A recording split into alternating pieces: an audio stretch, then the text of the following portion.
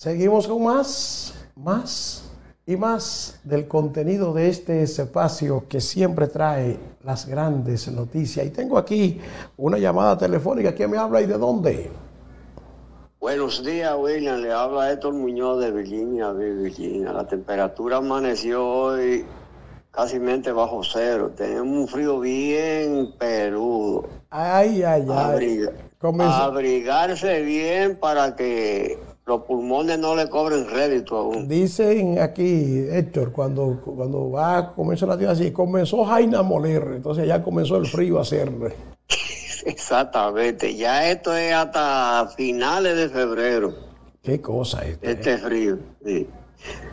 Mire, William, con relación al alijo que han hecho precedentes la Dirección Nacional de Drogas con todas estas incautaciones. Lo único que yo lamento es que cuando llegan al fondo de agarrar lo que están participando en este acto criminal, porque eso es, eso es un crimen, eh, la justicia dominicana, usted ve que a esos grandes narcotraficantes cuando lo agarran, que lo están buscando por todo el mundazo, esos jueces y esos fiscales los mandan para su casa. Mientras esa gente no se agarren y se y vayan y lo, y lo agarren y vayan y se lo tiren a los cocodrilos y a los leones en el zoológico.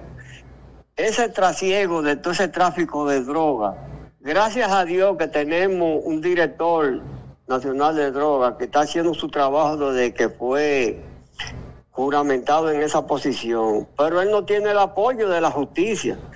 Como usted eh, sabe, lamentablemente. Héctor, aquí hay que, hay que hacer un paréntesis para decir, usted sabe con qué se está bregando. Y usted sabe el poder que hay detrás de todo esto.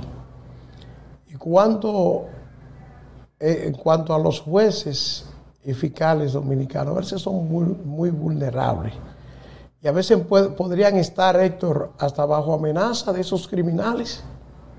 Imagínese usted un juez dominicano bajo amenaza y parte de la amenaza del crimen organizado es si habla, te mato.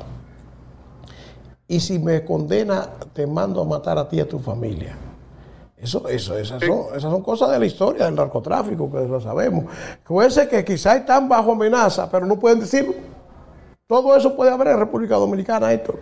Por eso, por eso es interesante que todos estos delincuentes que tienen alguna cuestioncita pendiente en Estados Unidos, se lo manden a Estados Unidos, porque para allá no se está barajando. Y yo creo que hasta allá están haciendo negocio también.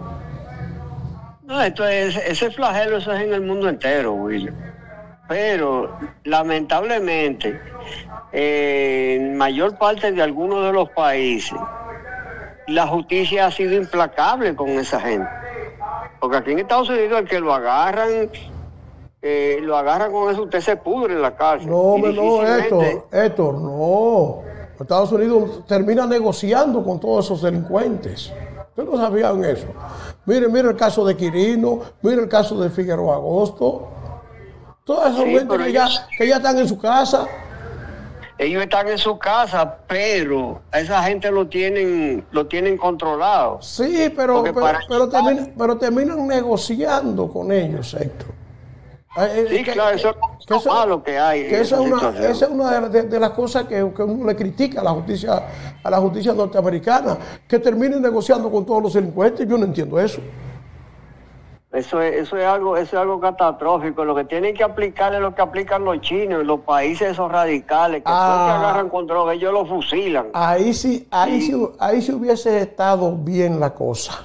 Si hubiese una ley marcial para ellos, se estuviera acabando con eso y la tecnología, y la tecnología ellos la tienen controlada, que tú el que hace una llamada, y ellos agarran man y lo buscan y, lo, y, se, y se lo lamben con los fusiles de una vez. Ahí tiene que aplicar la ley marcial. Ahí sí, ahí sí hubiese, si hubiese sido bien, porque nadie quiere que lo maten.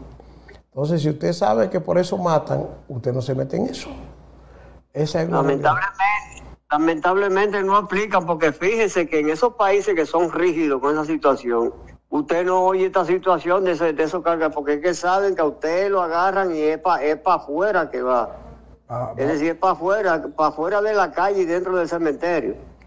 ¿Me entiendes? Lo saca de circulación. esto, esto, pues, muchas gracias, que aquí hay mucha noticia. Hay muchas noticias, porque son muchos palos que han dado.